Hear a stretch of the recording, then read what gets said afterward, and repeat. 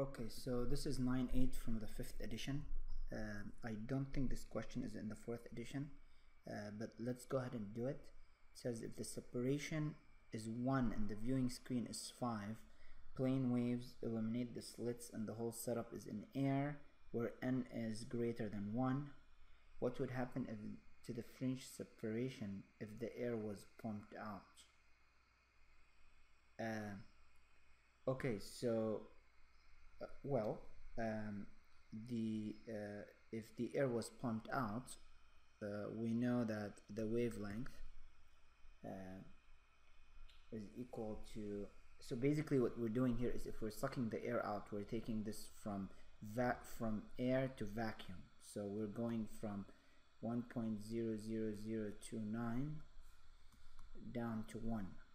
This is in vacuum. So basically, the n is going down so n is going down. And uh, we know uh, that uh, lambda is equal to the lambda in vacuum divided by n uh,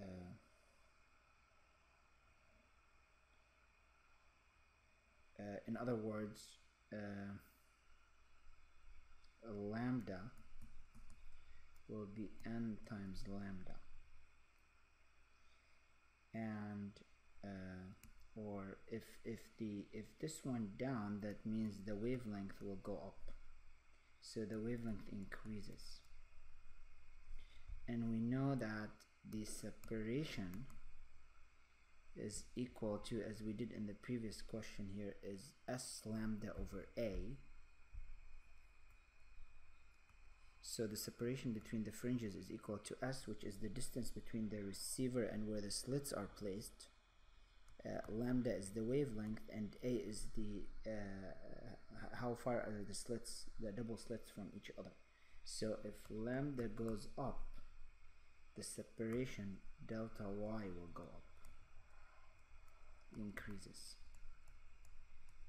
So this is the qualitative answer to this question. Uh, now if we want the quantitative answer well we could say uh, we could figure out what the new wavelength is having the old wavelength.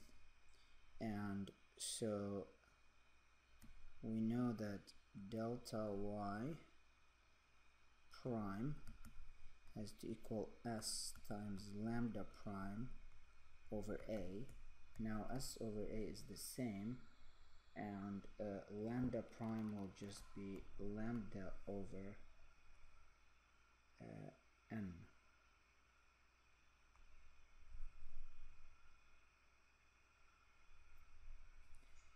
And so we get uh, s is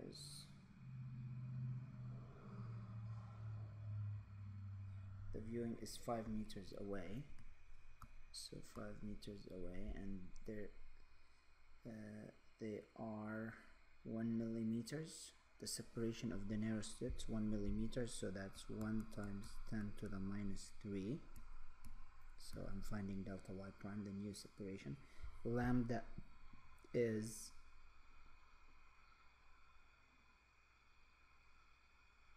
uh, 1.0 590 589.3 change this to meters multiply it by 10 to the minus 9 and then divide this by uh, n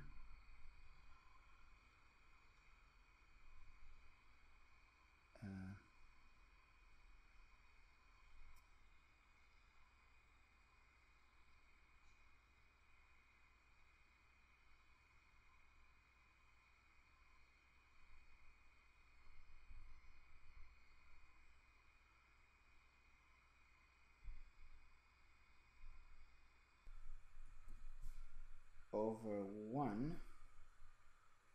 now I'm assuming uh, that the wavelength that the book gives for monochromatic light I'm assuming that that's uh, in vacuum. Uh, I mean the author is not very clear but I'm assuming when he lays it out like this monochromatic light that's in vacuum. So in, in, in air it will be slightly less.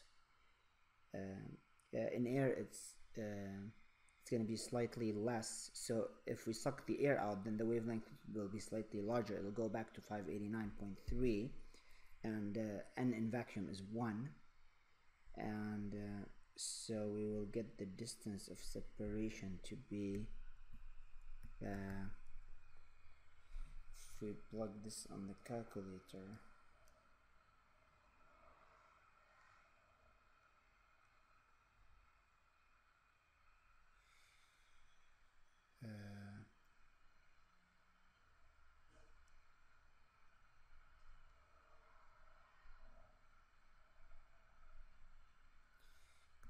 2.946 times 10 to the minus 3 meters.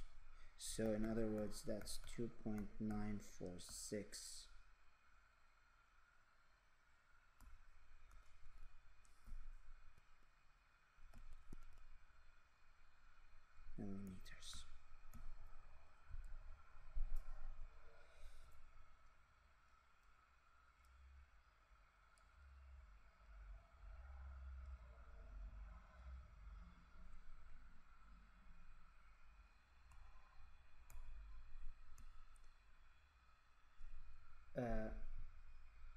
so just uh, to rephrase, uh, there are actually three factors that affect the fringe separation. There's the um, uh, the distance from the screen. If you increase it, then the fringe separation is increased. There's also the slit separation. If you increase the slit separation, the fringe separation delta x will go down because it's inversely proportional to that and uh, the uh, the one we illustrated here if you increase the wavelength then the distance of separation between the fringes will also increase